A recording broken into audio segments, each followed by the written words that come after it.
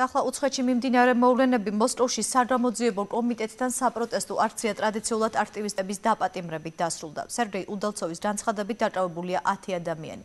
შენობასთან შეტრებილი ოპოზიციის ათობით მხარდამჭერი 6 მაისის მილიონიანი მარშის დროს დაკავებულების გათავისუფლებას ითხოვდა. ოპოზიცია სადამოძიებო კომიტეტთან აქციის გამართვას ყოველ შაბათს დღის 12 საათზე გეგმავს 6 მაისს დემონსტრანტებსა და პოლიციას შორის მომხდარ შეტაკებასთან დაკავშირებით. რამდენიმე დღის წინ სადამოძიებო კომიტეტში დაკითხვაზე ოპოზიცია ოპოზიციის ლიდერებიც დაიბარეს.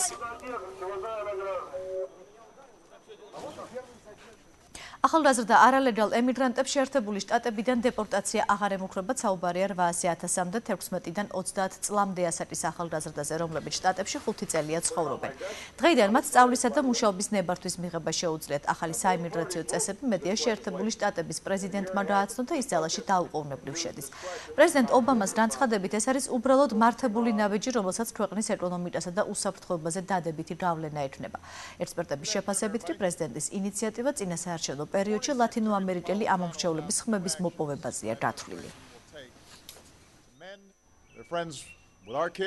დღეს ტირით ეროვნული უსაფრთხოების მინისტრმა ჯანეტ ნაპოლიტანომ გამოსნო ის ცვლილება, რომელსაც ჩემი ადმინისტრაცია საიმიგრაციო კანონში შეიტანს იმისთვის, რომ ის უფრო სამართლიანი და ეფექტური გახდეს განსაკუთრებით იმ ახალგაზრდებისთვის, რომლებსაც ზოგჯერ მეოცნებებს უწოდებთ. ეს ახალგაზრდები ჩვენ სკოლებში სწავლობენ, სამოზობლოებში ცხოვრობენ, ჩვენ შვილებთან მეგობრობენ და ჩვენ დროშაზე ერთგულებას იფიცებენ. ისინი გულში ყველაფრით ამერიკელები არიან, გარდა ფულცელზე ამერიკელად ყოფნისა. ეგვიპტეში ჰოსნი მუბარაქის მართლობის შემდეგ პირველი თავისუფალი საპრეზიდენტო არჩევნების მეორე ტური მიმდინარეობს. პრეზიდენტობისთვის მუბარაქის მმართველობის დროინდელი პრემიერ-მინისტრი აჰმედ ჩაფიტი და ძმები მუსლიმანების წარმომადგენელი მოჰამედ მურსი იბრძვიან. მის მიცემა ეგვიპტელებს ორი დღის განმავლობაში შეუძლიათ. დილის 8 საათზე საარჩევნო უბნებში უკვე ამომრჩეველთა რიგები იდგა. ქვეყნის მასშტაბით საპრეზიდენტო არჩევნებში სულ 50 მილიონი ამომრჩეველია დარეგისტრირებული. არჩევანის გაკეთება მათ ისლამის ლიდერსა და ყოფილ სამხედრო მაღალჩინოსთან შორის უწევთ.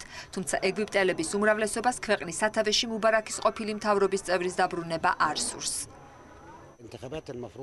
მოჰამედ მორსი ძლიერი პოლიტიკოსია, როგორც პროფესორი, იგი ძალიან განათლებულია. აკადემიური გამოცდილების გარდა მას პოლიტიკური გამოცდილებაც აქვს. ამ ყველაფრის გათვალისწინებით ჩემი არჩევანი ნათელია. არჩევანის გაკეთებისას ჩემთვის კანდიდატის წარსულის გათვალისწინება მნიშვნელოვანი აქვს. სულ ძველ რეჟიმს ბოლო ერთხელ და სამუდამოდ მოიღოს და ქვეყანა ავაშენოთ. თავიანთი არჩევანი დღეს პრეზიდენტობის კანდიდატებმაც გააკეთეს. ძმები მუსლიმანების წევრის მოჰამედ მურსის გამოჩენა საარჩევნო უბანთან მხარდამჭერები ოვაციით შეხვდნენ.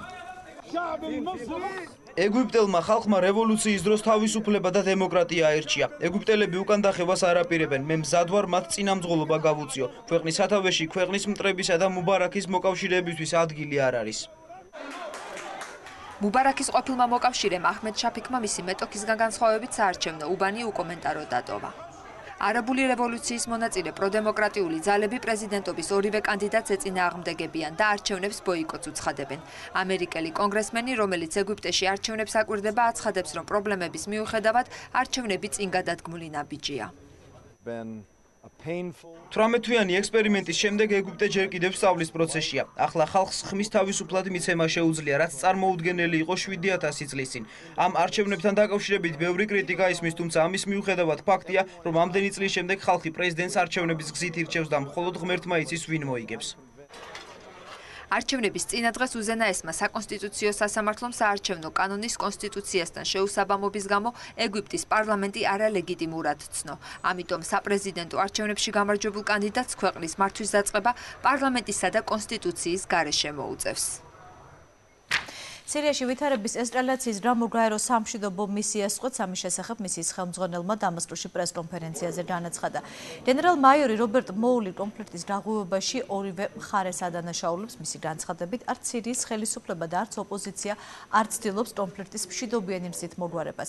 სირიაში კი ამასობაში შეერაღებული დაპირისპირება გრძელდება დასული დღეღამის განმავლობაში მსხვერპლის რაოდენობა 80 დააჭარბა. მათ შორის უმრავლესობა მშვიდობიანი მოქალაქეა გაეროს მონაცემებით სირიაში არეულობის დაწყება დაწყებიდან დაღუპულთა რიცხვი 10000 აღწევს. სასიკვდილო ნომერი ნიაჯარის ჩანჩერზე საჰაერო აკრობატმა ნიტვალედამ ჩანჩერზე 600 მეტრის სიგრძეზე დაჭიმული ბადირი წარმატებით გაიარა. 50 მეტრის სიმაღლეზე ამერიტისა და კანადის საზღვრის გადაკვეთას მან დაახლოებით 9 საათი მოანდომა, რითაც ბოლო 100 წლის რეკორდი მოხსნა.